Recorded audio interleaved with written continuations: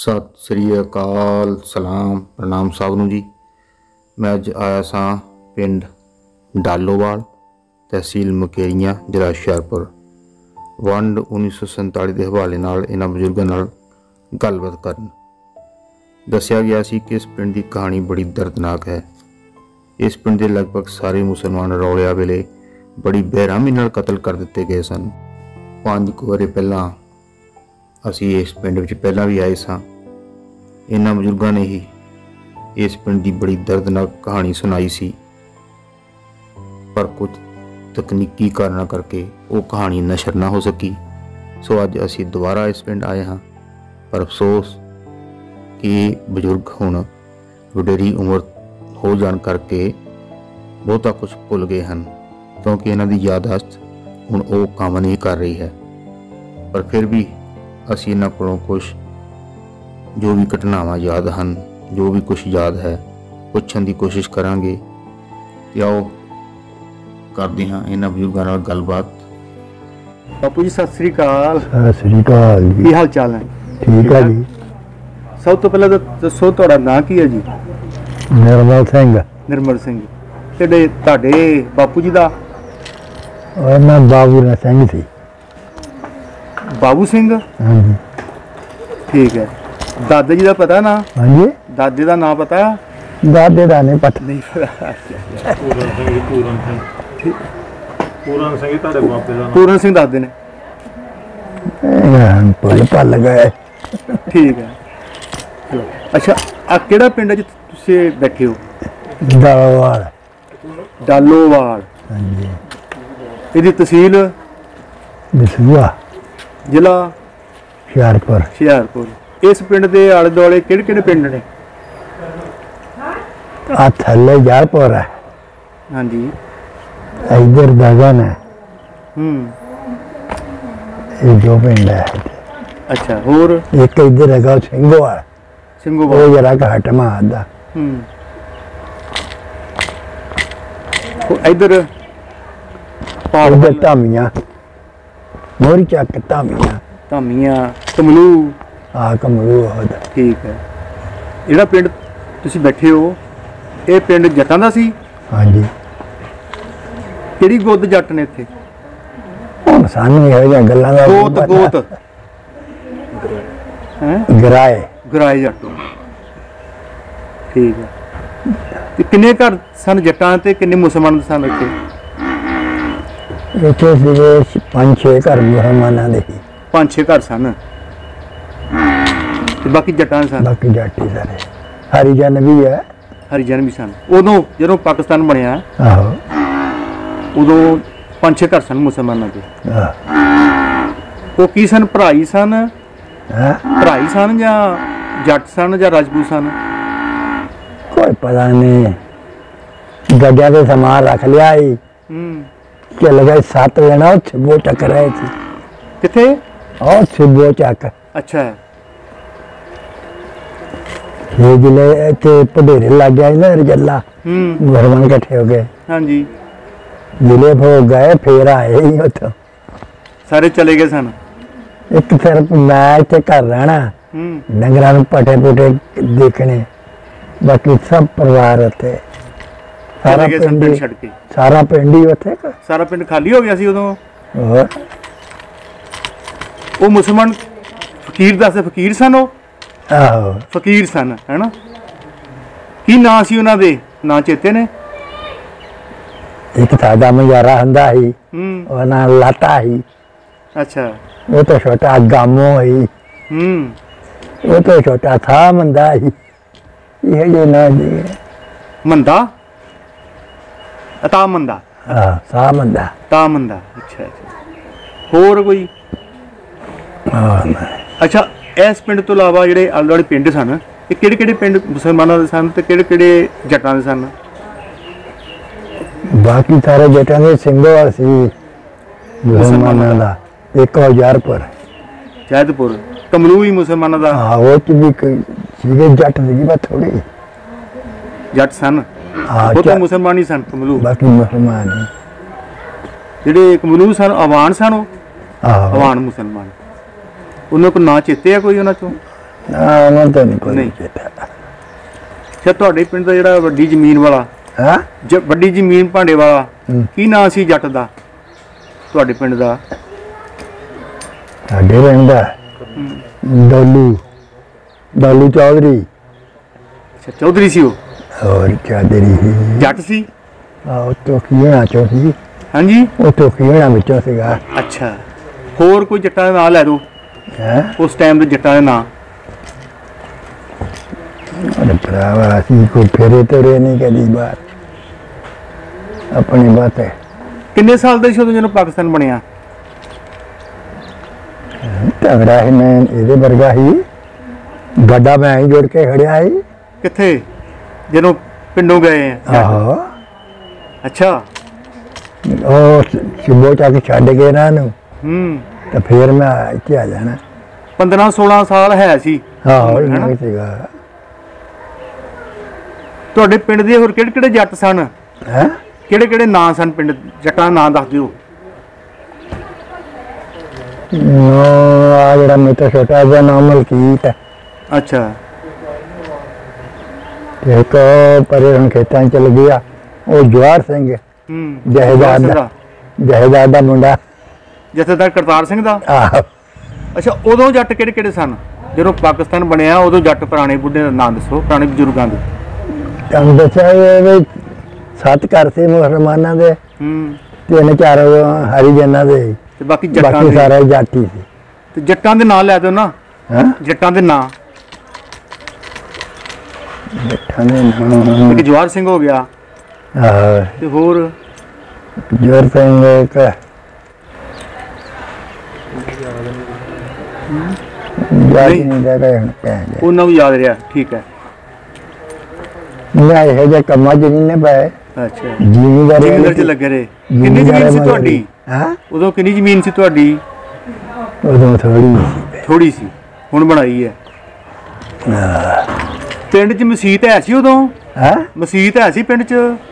ਨਹੀਂ ਪਹਿਲੇ ਹੈ ਨਹੀਂ ਸੀ। ਪਹਿਲੇ ਹੈ ਨਹੀਂ ਗੁਰਦੁਆਰਾ ਹੈ ਸੀ? ਨਾ ਪਹਿਲੇ ਵੀ ਹੈ ਨਹੀਂ ਸੀ ਗੁਰਦੁਆਰਾ। ਘਰ ਕਿਹੋ ਜਿਹੇ ਸਨ ਲੋਕਾਂ ਦੇ? ਹਾਂ? ਘਰ ਕਿਹੋ ਜਿਹੇ ਸਨ? ਘਰ ਕੱਚੇ ਸੀ ਤੇ ਸਾਡਾ ਘਰ ਗੱਭੇ ਹੀ ਪਿੰਡ ਦੇ। ਚਾਰ ਭਾਈ ਸੀ ਅਸੀਂ। ਹੂੰ। ਤੇ ਇੱਕ ਇੱਕ ਕਮਰਾ ਸੀ। ਕੱਚੇ ਕੋਠੇ ਸੀ। ਇੱਕ ਇੱਕ ਕਮਰਾ ਸੀ। ਸਾਰੇ ਵਿਆਹੇ ਸੀ ਚਾਰੇ ਕੱਚੇ ਘਰ ਸਨ ਸਾਰਿਆਂ ਦੇ ਕੱਚੇ ਸਨ? ਅਹ 40 ਸਾਲ ਕੱਠ ਲੰਘਿਆ। ਤੇ ਹੁਣ ਦੇ ਲੈ ਇੱਕ ਮੁੰਡਾ ਹੀ ਹੂੰ। ਆ ਕੋਠੀ ਜਾਰੇ ਥੋੜੀ ਹੈ ਇੱਕ ਹੋਰ ਥੋੜੀ ਜਿਹੀ ਪਾ ਲਈ ਹੈ ਨਾ। ਹੂੰ। ਨਵੇਂ ਨਵੇਂ ਜਡੈਨ ਕੀ ਨਾਂ ਭਰਾਵਾਂ ਦੇ? ਹੈ? ਭਰਾਵਾਂ ਦੇ ਕੀ ਨਾਂ ਨੇ? ਸਾਡਿਆਂ ਦਾ ਹਾਂਜੀ ਕੀ ਨਾਂ ਸਨ ਭਰਾਵਾਂ ਦੇ? ਇੱਕ ਦਾ ਮਲਕੀਤ ਹੈ, ਹਾਂਜੀ। ਇੱਕ ਦਾ ਪਿਆਰਾ ਸਿੰਘ ਬੜਾ ਮੇਤਾ ਅੱਛਾ ਜੀ। ਜਿਹੜਾ ਸਾਰਿਆਂ ਤੋਂ ਛੋਟਾ ਹੀ ਉਹ ਅਵਤਾਰ ਸੀ। ਉਹਨਾਂ ਜੋ ਹੈ ਕੋਈ ਹੁਣ? ਨਹੀਂ ਉਹਨਾਂ ਚੋਂ ਨਹੀਂ ਕੋਈ ਵੀ। ਤੁਸੀਂ ਬਚੇ ਹੋ। ਹੁਣ ਬੱਚੇ। ਸਕੂਲ ਗਏ ਸੋ ਉਦੋਂ? ਉਦੋਂ ਨੇ ਸਾਨੂੰ ਭੇਜਿਆ ਹੀ ਨਹੀਂ। ਅੱਛਾ। ਸਕੂਲੇ ਨਹੀਂ ਸਾਨੂੰ ਮੈਨੂੰ ਭੇਜਿਆ। ਹੂੰ। ਇਹ ਸੂਬੇਦਾਰ ਨੂੰ ਪਹਿਲੇ ਜਿਹੜਾ ਮੈਂ ਤਾਂ ਵੱਡਾ ਇਹਨੂੰ ਪਾਤਾ। ਅੱਛਾ। ਤੇ ਉਹਦੇ ਮੇਲਿਆ ਮੁੱਲਾ ਦੀ ਨੌਕਰ ਹੋ ਜਾਂਦੇ ਸੀ। ਹੂੰ। ਡਾਂਗ ਹੁੰਦਾ ਨਾਪ ਰੱਖਿਆ। ਜਨ ਕਹਿਣਾ ਕਿ ਨੌਕਰ ਆਉਣਾ ਉਹ ਡਾਂਗ ਦੇ ਨਾਪ ਲੈਣਾ ਹੂੰ ਜਿਉਂ ਨਾ ਜੋਨ ਹੈਗਾ ਸਵੇਰੇ ਬੇਤਰਾ ਲਾ ਕੇ ਟੇਚਣ ਤੇ ਆ ਜਾ ਤੇ ਜਿੱਦੇ ਨਾ ਜਾ ਨਹੀਂ ਦਿੱਤਾ ਕਹਿੰਦਾ ਵੀ ਉਹ ਦੂਆ ਬਾਹਰ ਚਲ ਗਿਆ ਤੇ ਮੇਰਾ ਜ਼ਿੰਦਰਾ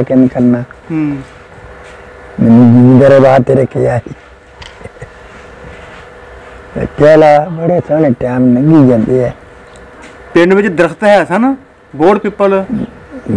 ਪਰ ਬਹੁਤ ਭਾਰਾ ਉਹ ਬੋਰਡ ਦੇ ਲਾਗੇ। ਬਹੁਤ ਭਾਰਾ ਸੀ। ਹੁਣ ਹੈ ਨਹੀਂ? ਬੋਰਡ ਹੈਗੀ ਆ ਪੇਪਰ ਵੱਢ ਲਿਆ ਵੱਢ ਲਿਆ ਤੇ ਪੀਣ ਵਾਲਾ ਪਾਣੀ ਖੂਹ ਸਨ? ਹਾਂ? ਪੀਣ ਵਾਲੇ ਪਾਣੀ ਤੋਂ ਖੂਹ ਸਨ ਇੱਥੇ? ਉਧਰ ਹੀ ਸੀਗਾ ਲੱਭਣਾ ਦੇ ਘਰ ਵਾਲੀ ਇੱਕ ਖੂਹ। ਇਹ ਖੂਹ। ਹੈ ਜੇ ਉਹ ਹੈਗਾ ਪਰ ਹੁਣ ਪਾਣੀ ਉੱਤੇ ਲੋਕ ਘੱਟ ਹੀ ਭਰਦੇ ਆ। ਤੇ ਛੱਪੜ ਕਿਸ ਪਾਸੇ ਜੀ ਪਿੰਡ ਦਾ?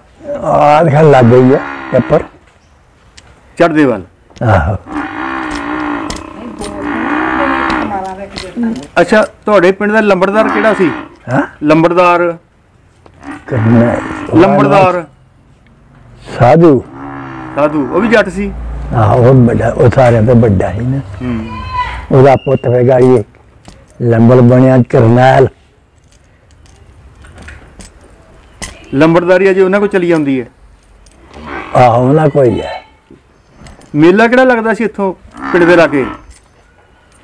ਧਾਮੀ ਸਿੰਘ। ਛਿੰਝ ਵੇਖਣ ਜਾਂਦੇ ਸੀ ਹੈ? ਹੋਰ। ਤੁਸੀਂ ਜਾਂਦੇ ਰਹੇ ਹੋ ਨਿੱਕੇ ਹੁੰਦੇ। ਮੁੰਡਿਆਂ ਨਾਲ। ਹੋਰ। ਮੁਸਲਮਾਨ ਮੁੰਡੇ ਵੀ ਜਾਂਦੇ ਅਸੀਂ ਵੀ ਮੁੰਡੇ ਸੀ। ਹੂੰ। ਮੁਸਲਮਾਨ ਮੁੰਡੇ ਜਾਂਦੇ ਸੀ ਨਾਲ? ਹੋਰ ਨਾਲ ਜਾਂਦੇ ਸੀ। ਉਹ ਮੁੰਡਿਆਂ ਚੋਂ ਹਾਣੀ ਦਾ ਨਾਂ ਚੇਤੇ ਹੈ ਇਹ ਮੁੰਡਿਆਂ ਦਾ ਨਹੀਂ ਨਾ ਪਤੇ। ਨਹੀਂ ਚੇਤੇ ਜਾਂਦੇ ਆ ਸਾਨੂੰ। ਆਹੋ। ਕੁਸ਼ਤੀਆਂ ਹੁੰਦੀਆਂ ਸਨ ਧਾਮੀ ਹਾਂ? ਕੁਸ਼ਤੀਆਂ ਘੋਲ ਹੁੰਦੇ ਸਨ। ਹੋਰ ਕੋਲ ਬੜੇ ਦੋ ਦਿਨ ਸਿੰਘ ਹੁੰਦੀ। ਹੂੰ। ਤੇ ਜਿਹੜੀ ਇਹਦੇ ਰਿਸ਼ਤੇਦਾਰੀ ਸੀ ਨਾ ਹੂੰ। ਬੀਬੀ ਪਰਾਉਣੇ ਆ ਜਾਂਦੇ ਸੀ ਇਹਦੇ ਘਰ। ਭਈ ਦੋ ਦਿਨ ਦੇ ਕੇ ਹੀ ਜਾਣਾ। ਅੱਛਾ। ਤੇ ਹੁਣ ਕਾਹਦੇ ਮੇਲੇ ਆ? ਭਾਵੇਂ ਸੌ ਕੋ ਤੇ ਬਤਾ ਘੜੀ ਚ ਦੇ ਕੇ ਚੱਲ। ਕਿਹੜਾ ਪਹਿਲਵਾਨ ਮਸ਼ਹੂਰ ਸੀ ਉਦੋਂ? ਬਾਬਾ ਪਹਿਲਵਾਨ। ਕਿੱਥੋਂ ਦਾ ਸੀ ਉਹ? ਇਹਦੇ ਦਾ ਯਾਰ ਕਿਤੇ ਨਾਲ। ਬੜਾ ਮਸ਼ਹੂਰ ਸੀ ਉਹ। ਹਰ ਸਾਲ ਮਾਲੀ ਜਿੱਤ ਲੈਂਦਾ ਸੀ ਉਹ? ਹਾਂ? ਮਾਲੀ ਜਿੱਤ ਲੈਂਦਾ ਸੀ ਹਰ ਸਾਲ? ਹਰ ਸਾਲ। ਮਾਲੀ ਚ ਕੀ ਦਿੰਦੇ ਸੀ ਉਦੋਂ? ਲਿਓ ਤੇ ਕੀ ਦੇਣਾ ਸੀ? ਹੂੰ। ਕੋਈ 5000 ਰੁਪਏ ਦੇਣੇ ਹੋਰ ਕੀ ਦੇਣਾ? ਬਸ। ਨਾਲ ਗਾਗਰ।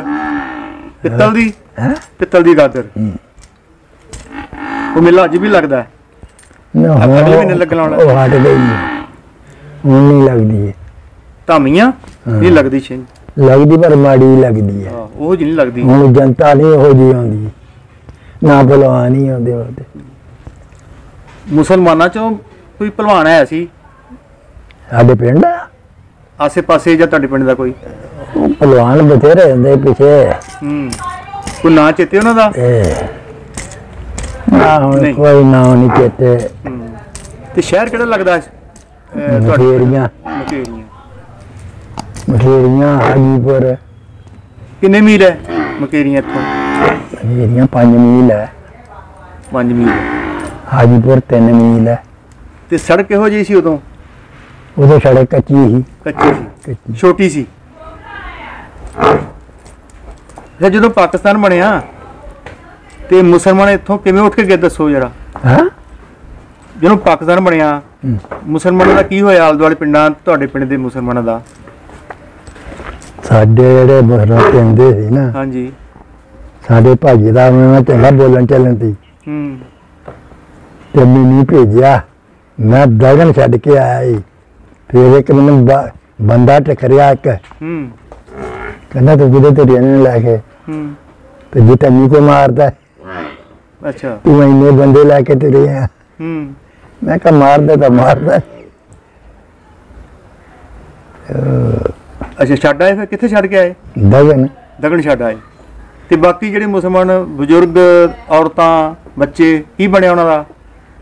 ਤੁਹਾਡੇ ਪਿੰਡ ਬਣਨਾ ਕੀ ਚੱਲ ਗਏ ਮੈਂ ਦਗਨ ਛੱਡਿਆ ਨਾ ਉਹਨਾਂ ਨੂੰ ਤੇ ਜਿਹੜੇ ਦਗਨ ਮੁਸਲਮਾਨ ਉਹਨਾਂ ਦੇ ਨਾਲ ਫਿਰ ਭਡੇਰੇ ਚੱਲ ਗਏ ਨਹੀਂ ਜਿਹੜੇ ਦੱਸਦੇ ਸੀ ਵੀ ਤੁਹਾਡੇ ਪਿੰਡ 'ਚ ਕਤਲ ਹੋ ਗਏ ਉਹ ਕਿਹੜਾ ਪਰਿਵਾਰ ਸੀ ਜਿਹੜੇ ਮਾਰੇ ਗਏ ਕਈਆਂ ਦੇ ਹੋਏ ਹਾਂ 6-7 ਬੰਦੇ ਮਰੇ 6-7 ਕਿ 28 ਬੰਦੇ ਇੰਨੇ 28 ਦੱਸਦੇ ਹਨ ਬੱਚੇ ਬੁੱਢੇ ਉਹ ਲੱਗੇ ਹੁਣ ਚੇਤੇ ਅੱਛਾ ਕਿੱਥੇ ਕਤਲ ਕੀਤਾ ਗਿਆ ਉਹਨਾਂ ਨੂੰ? ਹੈ? ਕਿੱਥੇ ਕਤਲ ਕੀਤਾ ਗਿਆ? ਉਹ ਪੰਡੇਰੇ ਜਾ ਕੇ ਮਾਰਿਆ? ਨਹੀਂ ਜਿਹੜੇ ਤੁਹਾਡੇ ਪਿੰਡ 'ਚ ਮਾਰੇ ਗਏ। ਉਹ ਵੀ ਮਾਰੇ ਹੋਏ? ਕਿੱਥੇ ਕੁ ਮਾਰੇ ਉਹ? ਉਹ ਉੱਥੇ ਸੀ ਥਾਂ ਅੱਛਾ ਅੱਛਾ। ਬਾਹਰਲੇ ਪਿੰਡਾਂ ਵਾਲੇ ਆ ਕੇ ਮਾਰੇ? ਹੂੰ। ਬਾਹਰਲੇ ਪਿੰਡ। ਕਿਹੜੇ ਪਿੰਡ ਦੇ ਆਏ ਸਨ ਧਾਮੀਆਂ? ਤੇ ਹੋਰ ਹੀਰ, ਦਗਨ ਹਾਂ ਦਗਣ ਸਿੰਘਦਵਾਰ ਯਾਰਪੁਰ। ਨਹੀਂ ਜਿਹੜੇ ਹਮਲਾ ਕਰਨ ਵਾਲੇ ਉਹਨਾਂ ਨੂੰ ਮਾਰਨ ਵਾਲੇ ਕਿਹੜੇ ਕਿਹੜੇ ਪਿੰਡਾਂ ਤੋਂ ਆਏ? ਪਹਾੜ ਤੋਂ ਆਏ ਕਿ ਇੱਥੇ ਪਿੰਡਾਂ ਦੇ ਪਿੰਡਾਂ ਦੇ ਲੋਕ ਸਨ? ਹੁਣ ਚੇਤਾ ਭੁੱਲ ਭੱਲ ਗਿਆ। ਜਥੇ ਸਨ। ਅੱਛਾ ਤੁਹਾਡੇ ਪਿੰਡ ਦਾ ਸੀ ਕਰਤਾਰ ਸਿੰਘ ਨਿਹੰਗ। ਉਹਦਾ ਕੀ ਰੋਲ ਸੀ? ਹਾਂ? ਕਰਤਾਰ ਸਿੰਘ ਨਿਹੰਗ। ਜੀਰਾ ਨਿਹੰਗ ਸੀ। ਹਾਂਜੀ। ਸਾਡੇ ਤਾਏ ਦਾ ਪੁੱਤ ਸੀ। ਅੱਛਾ। ਉਹ ਪਰਿਵਾਰ ਉਹਨਾਂ ਦਾ ਉਹ ਤਾਏ ਦਾ ਪੁੱਤ ਸੀ। ਖੇਤਾਂ 'ਚ ਕੋਠੇ ਪਾਏ ਆ। ਹਾਂ। ਉਹਦਾ ਕੀ ਰੋਲ ਸੀ? ਉਹ ਵੀ ਵਿੱਚ ਸ਼ਾਮਲ ਸੀ ਮਾਰਨ ਵਾਲਿਆਂ 'ਚ? ਹੋਰ? ਅੱਛਾ। ਉਹ ਲੈ ਕੇ ਆਇਆ ਜਥੇ। ਹੂੰ। ਜਦੋਂ ਮਾਰ ਕੇ ਫਿਰ ਕਿੱਥੇ ਦਫਨਾਏ ਉਹ? ਹਾਂ? ਕਿੱਥੇ ਦੱਬੇ ਫਿਰ ਉਹ? ਉਹ ਛੇੜੀਆਂ ਲਾਗੇ ਐਡਾ ਨਾਈ ਜੀ ਕੱਢ ਲਈ। ਹੂੰ। ਉਹਦੇ ਵਿੱਚ ਪਾ ਕੇ ਲੰਮੇ ਦਾ ਤੇ ਮਿੱਟੀ ਪਾਤੀ। ਅਜੇ ਵੀ ਪਈ ਮਿੱਟੀ ਉੱਥੇ। ਮਿੱਟੀ ਦੇ ਪਈ ਬਾ ਹੁਣ ਗੋਲ ਕਰ ਗਿਆ ਕੰਮ। ਅੱਛਾ। ਮਕਾਨ ਬਣ ਗਏ ਉੱਥੇ? ਹੋਰ ਉਹ ਬੰਨਾ ਹੈ ਅਜੇ ਹਾਂ? ਉਹ ਬੰਨਾ ਤੇ ਹੈ ਅਜੇ ਪਿੱਛੇ ਜੀ ਵੇਖਿਆ ਸੀ। ਉਹ ਤਾਂ ਫਿਰ ਹੁਣ ਜਦ ਉਥੇ ਨਿਸ਼ਾਨੀਆਂ ਨਹੀਂ ਦਈਆਂ ਹੁਣ। ਅੱਛਾ। ਪਰ ਬੰਨਾ ਹੈ ਜਿਹਦੇ ਥੱਲੇ ਦੱਬੇ ਹੋਏ ਨੇ। ਹੋਰ? ਅੱਛਾ ਦੋ ਔਰਤਾਂ ਵੀ ਰਹਿ ਗਈਆਂ। ਤੁਹਾਡੇ ਪਿੰਡ ਦੀਆਂ ਇੱਥੇ? ਹਾਂ? ਔਰਤਾਂ ਰਹਿ ਗਈਆਂ ਸਨ ਮੁਨ- ਮੁਸਲਮਾਨਾਂ ਦੀਆਂ। ਰਹਿ ਗਈਆਂ ਸਨ? ਆਹੋ। ਕਿੱਥੇ ਰਹਿ ਗਈਆਂ ਸਨ? ਉਹ ਇੱਥੇ ਹੀ ਰਹਿ ਗਈਆਂ ਸੀਗੀਆਂ ਫਿਰ ਉਹਨਾਂ ਨੇ ਵੀ ਛੱਡ ਕੇ ਆਏ ਉੱਥੇ। ਬਾਅਦ ਵਿੱਚ ਉਹਨਾਂ ਨੂੰ ਛੱਡ ਕੇ ਆਏ। ਹੂੰ। ਕਿ ਮਿਲਟਰੀ ਲੈ ਕੇ ਗਈ ਫੌਜ ਲੈ ਕੇ ਗਈ ਉਹਨਾਂ ਨੂੰ? ਹਾਂ? ਫੌਜ ਲੈ ਕੇ ਗਈ? ਆਹੋ ਇਹ ਪਹੁੰਚ ਆ ਗਈ ਸੀ। ਉਹਨਾਂ ਨੂੰ ਲੈ ਗਏ? ਇਹ ਕੰਮ ਖਤ ਪਿੰਡ ਖਤਰੇ ਚ ਆ। ਅੱਛਾ। ਨਹੀਂ ਜਦੋਂ ਹੀ ਉਹ ਬੁੱਢੀਆਂ ਰਹਿ ਗਈਆਂ ਸਨ ਮੁਸਲਮਾਨਾਂ ਦੀਆਂ ਕੁੜੀਆਂ ਰਹਿ ਗਈਆਂ ਸਨ ਉਹਨਾਂ ਨੂੰ ਫੌਜ ਲੈ ਗਈ ਮੁੜ ਕੇ? ਹੂੰ। ਫੌਜ ਲੈ ਗਈ। ਉਹ ਕਿਹਦੇ ਘਰ ਰਹੀਆਂ ਸਨ? ਹਾਂ? ਕਿਹਦੇ ਘਰ ਰਹੀਆਂ ਸਨ? ਕਿਹਨੇ ਰੱਖੀਆਂ ਸਨ? ਉਹ ਲੰਬੜਾਂ ਦੇ ਘਰ। ਉਹਨਾਂ ਰੱਖੀਆਂ ਸਨ। ਸਿੱਖ ਬਣ ਗਈਆਂ ਸਨ? ਹਾਂ? ਸਿੱਖ ਬਣ ਗਈਆਂ ਸਨ? ਨਾ ਸਿੱਖ ਨਹੀਂ ਬਣਿਆ। ਹੂੰ। ਕਹਿੰਦੀ ਐ ਮਰ ਜਾਣਾ ਮਨਜ਼ੂਰ। ਦੀਨ ਨਹੀਂ ਛੱਡਣਾ। ਅੱਛਾ। ਦੀਨ ਨਹੀਂ ਛੱਡਿਆ ਨਾ।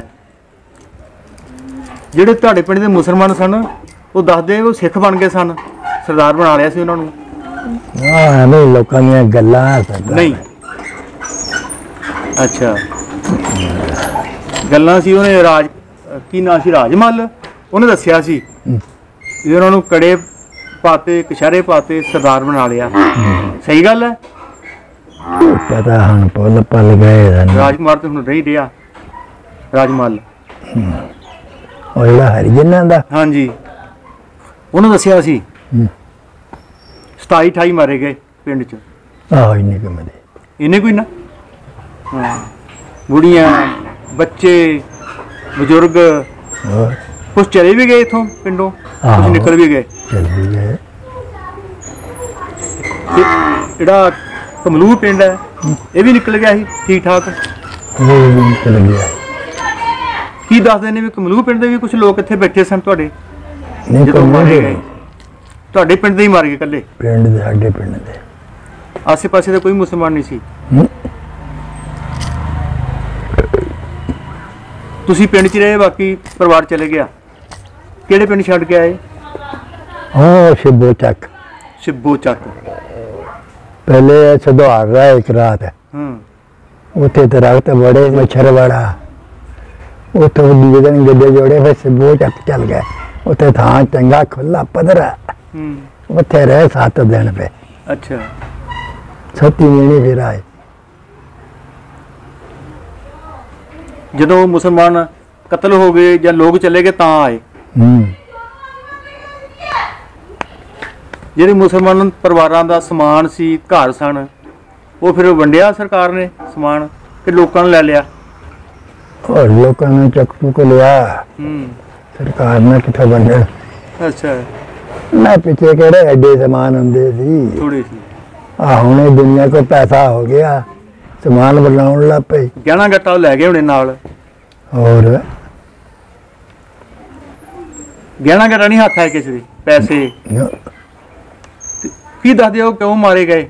ਇਹ ਮੁਸਲਮਾਨ ਕਿਉਂ ਕਤਲ ਕੀਤੇ ਥੇ ਜਦ ਫਿਰ ਦੇਸ਼ ਦੋ ਬਣ ਗਏ ਤਾਂ ਫਿਰ ਮਾਰਨਾ ਹੀ ਸੀ। ਤੇ ਦੇਸ਼ ਦੋ ਬਣ ਗਏ ਉਹਨਾਂ ਨੂੰ ਭੇਜਣਾ ਬੰਦਾ ਸੀ। ਕੈਂਪਾਂ 'ਚ। ਮਾਰਨਾ ਤਾਂ ਗਲਤ ਹੈ ਨਾ। ਬਿਨਾਂ ਕਸੂਰਾਂ ਤੋਂ। ਇਹ ਕਸੂਰ ਨਹੀਂ। ਏਦਾਂ ਹੀ ਆ ਨਾ। ਕੋਈ ਮੁੜ ਕੇ ਪਿੰਡ ਵੇਖਣ ਆਇਆ? ਪਾਕਿਸਤਾਨ ਨੂੰ? ਕੋਈ ਪਿੰਡ ਵੇਖਣ ਆਇਆ ਪਾਕਿਸਤਾਨ ਨੂੰ? ਨਾ। ਕਦੀ ਨਹੀਂ ਵੇਖਣ ਆਇਆ। ਇਹ ਨਹੀਂ ਹੈ। ਥੋੜੇ ਜਣੇ ਬਚੇ ਤੁਹਾਡੇ ਪਿੰਡ ਦੇ। ਹੂੰ। ਬਾਕੀ ਮਾਰੇ ਗਏ ਇੱਥੇ ਹੀ।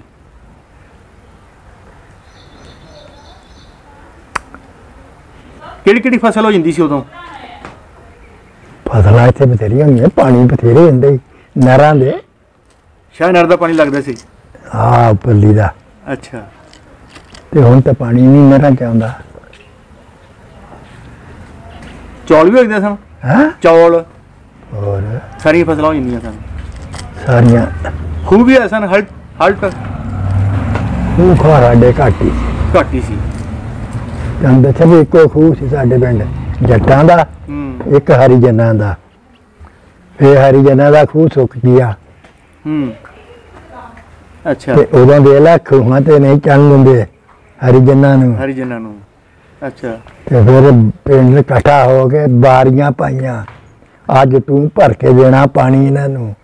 ਅੱਜ ਤੂੰ ਦੇਣਾ ਭਰ ਕੇ। ਹੂੰ। ਤੇ ਅੱਜ ਦੇ ਲੈ ਕੇ ਥਾਈ ਦੇ ਰੋਟੀਆਂ ਖਾਣ ਦਾ ਉਹ ਭੇਦਭਾਵ ਮਿਟ ਗਏ ਨੇ ਹੁਣ। ਤਾਂ ਮਿਟ ਗਏ। ਜਾਤ ਪਾਤ ਵਾਲੇ ਹੌਲੀ ਹੌਲੀ। ਦੁਨੀਆ ਸਮਝਦਾਰ ਹੋ ਗਈ ਹੈ ਹੋਰ? ਪੜ੍ਹ ਲਿਖ ਗਈ ਹੈ ਇਦਾਂ ਪਿਛੇ ਨੂੰ ਪੜ ਜਾਂਦਾ ਹੈ। ਹੂੰ। ਉਦੋਂ ਕੀ ਲਿਬਾਸ ਪਾਉਂਦੇ ਸੀ ਕੱਪੜੇ ਕਿਹੜੇ ਪਾਉਂਦੇ ਸਨ ਉਦੋਂ? ਕਿਸ ਤਰ੍ਹਾਂ ਦੇ ਕੱਪੜੇ ਪਾਉਂਦੇ ਸਨ ਲੋਕ ਜੱਟ? ਇਦਾਂ ਦੇ? ਚਾਦਰ ਕੁੜਤਾ ਖੱਦਰ ਦਾ। ਹੋਰ ਖੱਦਰ ਦੇ। ਘਰ ਦੇ ਖੱਦਰ ਬਣਾਉਣੇ। ਹੂੰ। ਬੁਝੀਆਂ ਚਰਖੇ ਕੱਤਣੇ ਖਰਾਸ ਵੀ ਆਇਆ ਸੀ ਪਿੰਡ ਜਦੋਂ ਕੋਈ? ਹਾਂ? ਖਰਾਸ ਆਟਾ ਪੀਣ ਵਾਲਾ। ਸੀਗਾ। ਕਿਹਦਾ ਸੀ? ਉਹ ਤੇ ਖਾਣਾ ਦਾ ਹੀ ਖਰਾ ਸੀ। ਤਰਖਾਣ ਦਾ। ਕੀ ਨਾਂ ਸੀ ਤਰਖਾਣ ਦਾ? ਮੰਗੂ। ਮੰਗੂ। ਠੀਕ ਹੈ। ਇੱਕੋ ਪੱਤੀ ਸੀ ਪਿੰਡ ਦੀ? ਇੱਕੋ ਪੱਤੀ ਛੋਟਾ ਹੀ ਪਿੰਡ ਸੀ। ਕਿੰਨੇ ਘਰਾਂ ਦਾ ਪਿੰਡ ਸੀ? 50 ਘਰ ਹੋਣਗੇ। ਨਹੀਂ ਉਦੋਂ ਥੋੜੇ ਸੀ। 25 ਘਰ। ਇਹ ਚੋਂ 6-7 ਮੁਸਲਮਾਨਾਂ ਦੇ ਸਨ ਬਾਕੀ ਜੱਟਾਂ ਦੇ। ਹੂੰ। ਹੋਰ ਕੋਈ ਪਿੰਡ ਦੀ ਯਾਦ? ਹੋਰ ਕੋਈ ਘਟਨਾ ਦੱਸੋ? ਜਾਂ ਤਾਂ ਹੁਣ ਕਾਹਦੀਆਂ ਭੁੱਲ ਗਈਆਂ ਹੁਣ ਪਿੰਡ ਦੀ ਕੋਈ ਗੱਲਬਾਤ ਪੁਰਾਣੀ ਕਹਾਣੀ? ਉਹ ਸਾਨੂੰ ਆਉਂਦੀਆਂ ਕਹਾਣੀਆਂ ਹੁਣ। ਆ ਦੇਖ ਆਮਗ ਲੈ ਲੈ ਨਾ। ਨਾ ਮੈਨੂੰ ਲਾਉਣਾ ਆਉਂਦਾ। ਨਾ ਮੈਨੂੰ ਬੰਦ ਕਰਨਾ ਆਉਂਦਾ। ਹੱਥ ਨਹੀਂ ਲਾਉਣਾ ਇਹ ਜਿਹੀਆਂ ਚੀਜ਼ਾਂ ਨੂੰ। ਚਲੋ ਠੀਕ ਹੋ ਆਪਣੇ ਗਿਆ। ਕੰਮ ਨਾਲ ਬਿਹਾਰ ਸੀ। ਹਾਂਜੀ। ਚੰਗਾ ਜੀ ਬਹੁਤ ਬਹੁਤ ਧੰਨਵਾਦ। ਸ਼ੁਕਰੀਆ। ਸਤਿ ਸ਼੍ਰੀ ਅਕਾਲ।